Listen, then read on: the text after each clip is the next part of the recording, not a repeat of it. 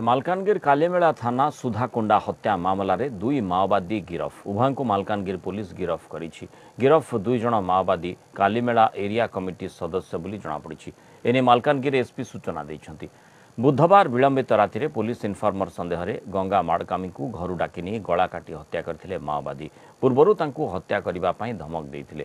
ଘଟଣାରେ ସମ୍ପୃକ୍ତ ଅନ୍ୟ ମାଓବାଦୀଙ୍କୁ ଗିରଫ ପାଇଁ ପୋଲିସ ପକ୍ଷରୁ ଅପରେସନ ଜୋରଦାର କରାଯାଇଛି।